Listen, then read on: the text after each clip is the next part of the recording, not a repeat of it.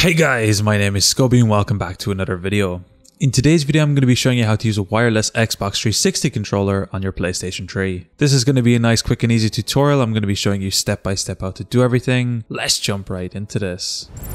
So for this video, we are going to be needing two things. The first of these is going to be a Cronus Max. Of course, I'll be leaving links to this in the description down below. This is a little USB dongle that allows us to use an Xbox 360 controller on our PlayStation 4. And the second thing we're going to be needing is a wireless Xbox 360 adapter.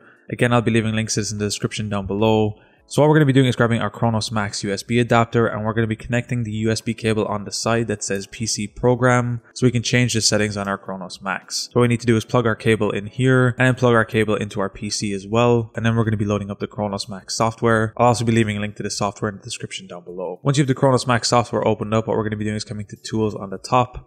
We're going to be clicking on options and then we're going to be coming to the device tab right here. At the very top, we'll have our output protocol. And here we'll have one of two options to choose automatic or you can select PS3. In this case, automatic seems to work fine. And if you plan to use it on different consoles, leaving it on automatic is the best option so you can easily switch them around and hot swap them. In my case, automatic seemed to work okay. For all the other settings, you can simply copy everything else on screen. All the other settings we use shouldn't make too much of a difference. So the first thing you need to do is have your PlayStation 3 on, and what we're going to be doing is plugging our Cronus Max into our PlayStation 3. And we're going to be looking for the text to flash from A to U as it is on screen right now. You can see it's going back and forth here, and that's what we're going to need to have first on our Cronus Max. From this point, we're going to be grabbing our Xbox 360 wireless adapter, and we're going to be plugging this into the end of our Cronus Max, simply into the USB port as I'm doing on screen right now, and the light should come on in your Xbox 360 adapter. From this point, you can simply grab your Xbox 360 controller, and if you've already synced this previously, it should automatically connect to your Xbox 360 wireless adapter, as you can see I'm doing right now at the moment. However, if you need to sync the controller and adapter, you can simply sync it by clicking the sync button on the top of the Xbox 360 controller,